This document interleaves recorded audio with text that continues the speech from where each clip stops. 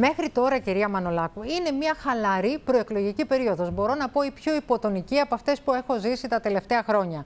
Αν πιεστεί όμως το κλίμα την επόμενη εβδομάδα που είναι και η τελευταία, φοβάστε ότι μπορεί να μην αντέξετε στην πόλωση. Τα μικρά κόμματα όλα, του ΚΚΕ βεβαίως συμπεριλαμβανομένου.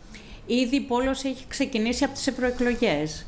Δεν υπήρξε Τότε ήταν μεγαλύτερη, μπορώ να σας πω, ναι, από ό,τι είναι τώρα. Ναι, αλλά η αντιπαράθεση δεν ήταν για την ευρωπαϊκή πολιτική, αλλά ήταν για την εθνική πολιτική.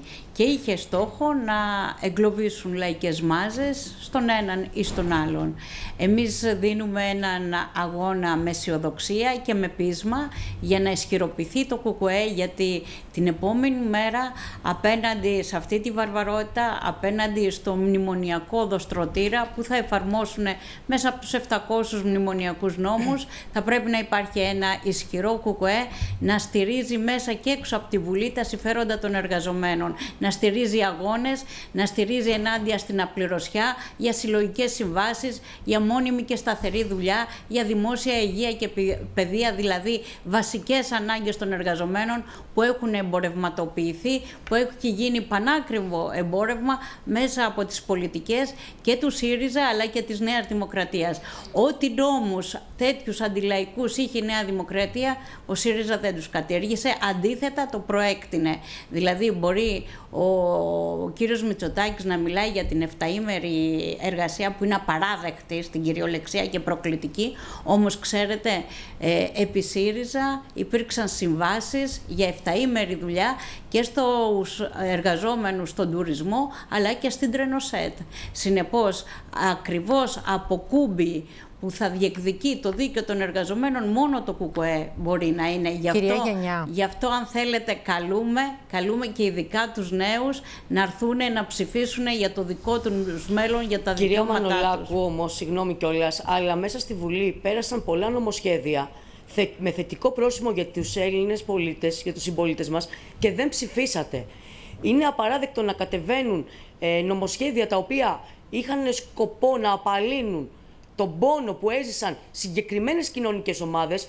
Να θυμίσω λίγο ότι από το 2010 έως το 2010, από το 2008 ως το 2014, 800.000 συνάνθρωποι μας πέρασαν από τη μεσαία τάξη στην κατώτατη, στην κατώτερη τάξη και όσοι παρέμειναν στη μεσαία, το 35% των εισοδημάτων τους ε, μειώθηκε.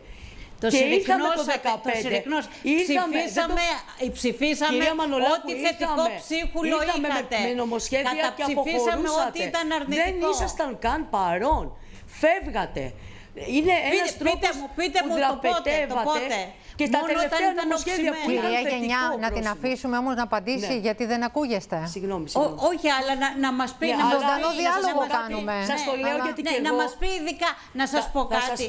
Την τελευταία Παρασκευή που έκλεισε η Βουλή, φέρατε και ξεψηφίσατε το αφορολόγητο να ξανέρθει στα 8,5 χιλιάρικα. Ναι, το είχατε πάει στα 5,5 και το φέρατε δεν στα 8,5. Βεβαίως, θετικό και το ψηφίσαμε. Όμως ταυτόχρονα φέρατε και μια σειρά πράγματα που βουτάγατε από την τσέπη των εργαζομένων χρήματα. Δηλαδή, είχατε μειώσει τον έμφυα κατά 30% σε όσους είχαν μέχρι 700 ευρώ, το ξαναφέρατε, το καταργήσατε.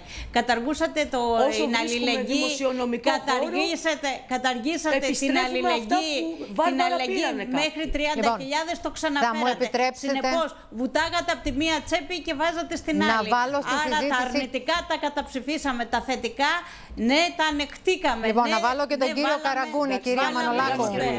Η αντιλαϊκή πολιτική του ΣΥΡΙΖΑ φέρνει μπροστά τη Νέα Δημοκρατία και οι δυο στηρίζουν τα κέρδη των επιχειρηματιών και την εξουσία τους. Γι' αυτό μπορεί να μιλάνε για δουλειές, μπορούν να μιλάνε για ανάπτυξη, αλλά πουθενά δεν μιλάνε για συλλογικές συμβάσεις εργασίας σε κάθε κλάδο και για ασφάλεια στις συνθήκες, στις συνθήκες δουλειάς. Συνεπώς, ο λαός χρειάζεται ένα ισχυρό κουκουέ για να είναι μέσα στη Βουλή, να μπορεί να διεκδικεί το δίκαιο των εργαζομένων. Σας ευχαριστώ Συνεπώς, πολύ. κερδισμένη ψήφος είναι